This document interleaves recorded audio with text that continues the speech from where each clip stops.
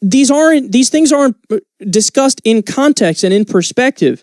Now, here's the real reason why blacks are disproportionately in jail because that's the argument that that's the other argument they make. Just hey, look at the numbers, black there's more black people in jail as a percentage, so clearly there's a problem in that community. But the reason why they are is because of the drug war, that white people and black people use drugs at similar rates, but black people get arrested four to six times more often. These are studies that show this.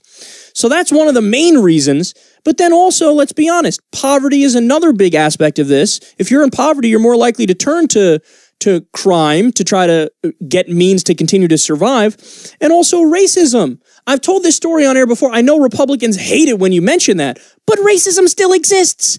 Look, I grew up in a very multicultural, multi ethnic, multiracial environment, multi religious, you name it.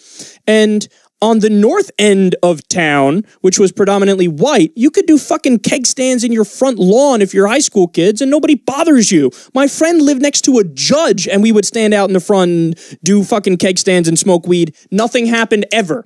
But if you're on the south end and you're on your front porch quietly smoking a joint, the cops will come and fucking tackle you and bring you to jail. Why? Because cops are told don't patrol the affluent white areas, go patrol the poor black areas.